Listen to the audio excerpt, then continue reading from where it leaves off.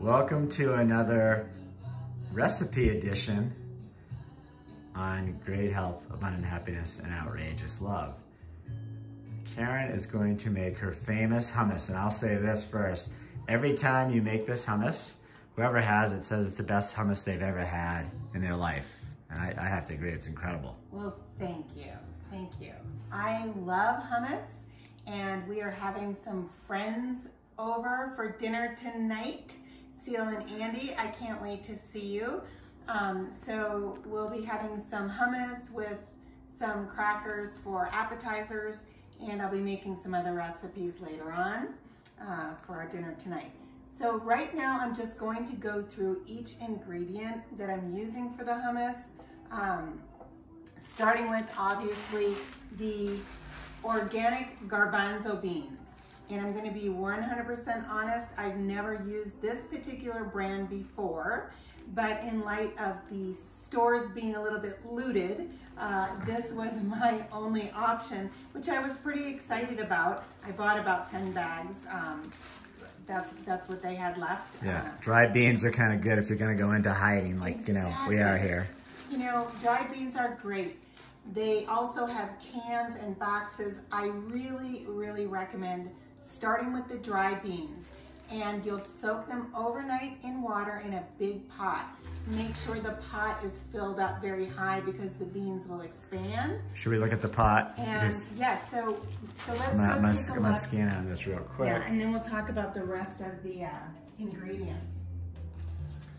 So, um, and I use the Le Creuset pots. Uh, they are the best as far as being safe. They're non-toxic. They don't leach anything into your food. So, ooh, this looks great. I'll go over the other ingredients, but but yeah, what's in the pot because it smells great. Oh my Not goodness. just the beans. So I've got the dried beans, which I soaked overnight and in water, and then I rinsed them. Then I put them back into the same pot and I added seven cloves of garlic. You can see right here. Um, you don't have to use that much garlic, but I love garlic and for me, you can never have enough. And I cooked the garlic right in there with the beans.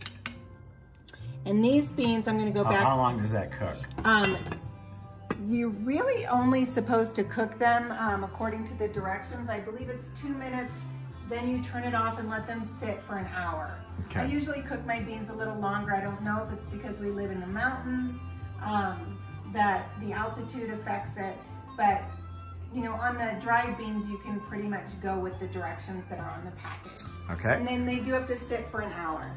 All right, um, let's go back to the... So what I have in there after I took my organic rinsed beans, I put them back in there, I cook them in this ramen broth by Ocean's Halo. And I absolutely love this product.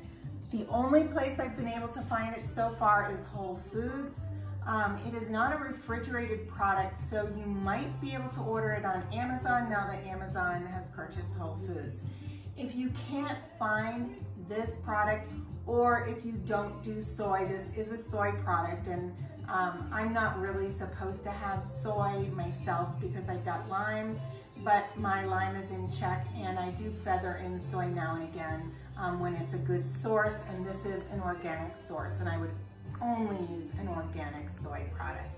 So if you don't have this available, mushroom broth is my second go-to for cooking my beans in. And it just adds a, like a really great flavor. Because you could do, uh, you could just use water if because of all the spices you have, right? Absolutely. You could you could definitely do just water, but for me, when I'm blending it, this extra broth flavor, it makes all of the difference, okay?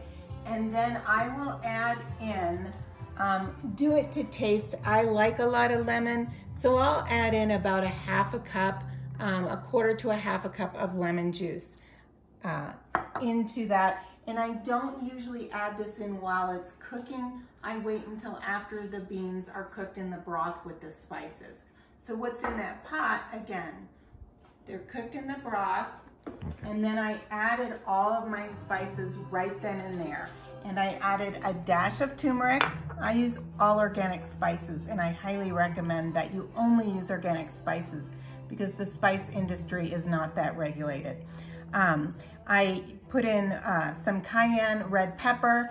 Now, because we're having company, I went a little light on it. If it was just Jeffrey and I, I would be using probably two tablespoons, which is crazy, well, but I just put in a dash. A lot of times you put a little cayenne on top of the uh, serving I absolutely will still do that in yeah. this particular case. Thank you, Jeffrey. It looks beautiful. Um, and then space. cumin. Cumin is wonderful in hummus. And again, you know, I a dash of that. And when I say a dash, I would say like, you know, three to five good sized sprinkles into the pot. Black pepper, I love black pepper and it's great with hummus. So I will actually use a, a, like a heaping teaspoon of um, organic black pepper and then just a dash of paprika. You can leave this out. Sometimes I save it just for the top because it's pretty. And then, you know, most vegans are familiar with this product, the Bragg's Nutritional Yeast. It adds a really creamy, um, almost a cheesy-like flavor. So I'll put in about a teaspoon of that as well. And um, Here's the garlic I'm using. You can certainly buy it and peel it. I tend to get um, a little lazy with garlic because we go through so much of it that it's so much easier for me to buy the organic bags. And these are not in the pot yet, so these will be added once I blend it. So we'll talk about that at the end. Are those just the only two that you're adding after the fact? These are the only two ingredients that we'll add after the fact, aside from maybe sprinkling, you know, some of right. the, um, and th this is certainly an optional ingredient.